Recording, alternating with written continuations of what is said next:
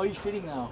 Uh, good, yeah, yeah. I'm, I'm properly exhausted from this fringe during the last weekend, uh, and yeah, I didn't get a lot of sleep last night. Uh, but I've, it was a real, real honour to be given the award. It's wonderful. Uh, I felt very emotional getting it, but you know, I feel that's that's a lot of the emotional regulation I sort of struggle with. So it's like, um, but yeah, it was really sweet. It was lovely. Yeah, thank you. Yeah, and, Yeah. and how does it feel like to have your work being recognized by the award? Oh, wonderful! Yeah, it's, re- it's really good. It's a new. My ADHD diagnosis was not that long ago, and um, it, but it's you know something that's bothered me all my life, and, and to find that out, and to I've watched watched and read a lot on it, and, and it's just really changed my life, and, and then to to be you know to be part of that community and uh, to some degree, and, and and see what they're doing is incredible. You know, I think they just started it up very last minute, and then it's blossomed into this wonderful thing. You know, so it's been really sweet. Yeah. This picture is at him. Good. And then, um, so, yeah, um, I guess, how do you think the award will help you progress as an artist for the future? Well, I I think um, I, I mean I've had a lovely year here, um, and I'm hoping it will.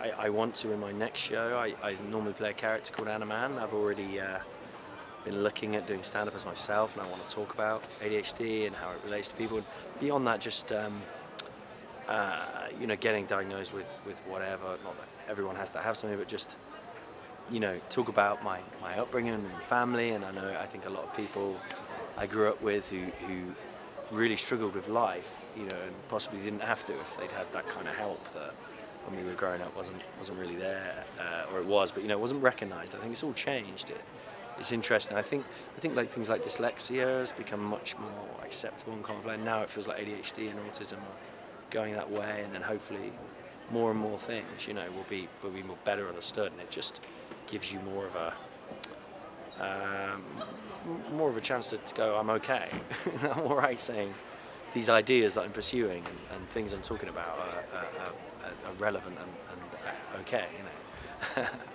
Um, um, I guess it's like, uh, and why do you think the uh, having the award being the first year is important for the future for the work?